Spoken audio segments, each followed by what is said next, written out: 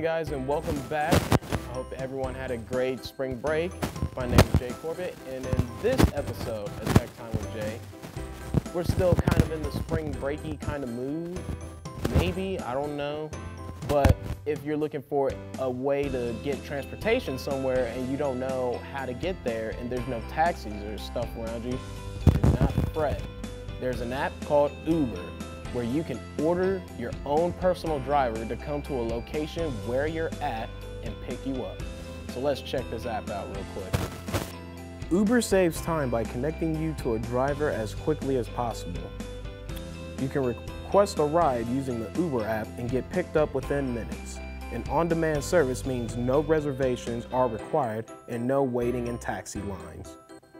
You can easily set your pickup location on the map and even if you don't know the exact address, you can get connected to your personal driver and check the progress of your Uber at any time.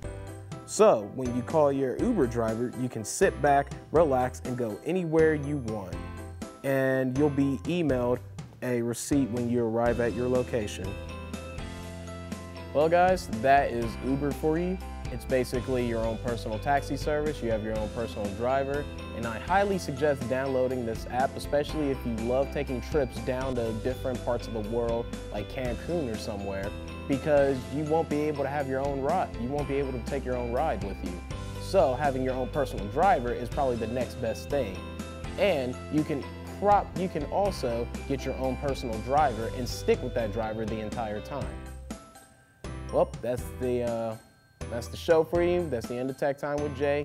Hope to see you guys next time.